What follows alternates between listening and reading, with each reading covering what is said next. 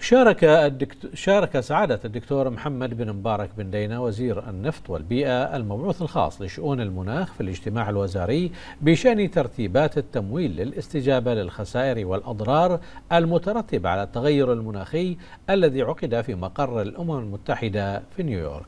وألقى سعادة وزير النفط والبيئة المبعوث الخاص لشؤون المناخ كلمة خلال الاجتماع أكد خلالها ضرورة إزالة جميع العقبات التي تقف في طريق الوصول السريع والفعال إلى الموارد المالية والتقنية للحد من الخسائر والأضرار المترتبة على التغير المناخي مشيرا إلى ضرورة الوصول إلى مخرجات عملية يمكن تبنيها خلال مؤتمر الأطراف كوب 28 الذي تستضيفه دولة الإمارات العربية المتحدة الشقيقة من أجل تحقيق الأمن المناخي وأهداف التنمية المستدامة.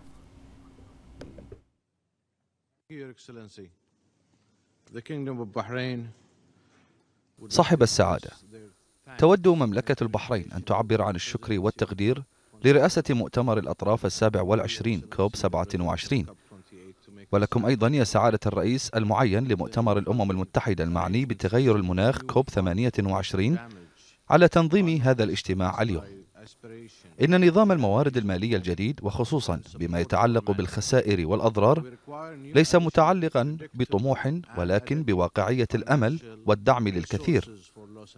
نحن في حاجة إلى نظام مالي أكثر فاعلية وواقعية للخسائر والأضرار وإقصاء أي عقبات يمكن أن تقف في طريق الوصول السريع إلى الموارد.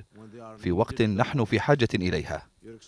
صاحب السعادة خطة العمل لإدارة الموارد المالية الخاصة بكوب 28 يجب أن تنجح ونشجع على الحصول على مخرجات عملية يمكن تبنيها عبر اللجنة التنسيقية.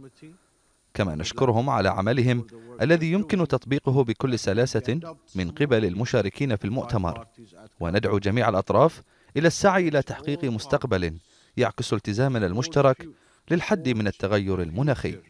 That upholds our collective commitment to combat climate change and ensure that no one as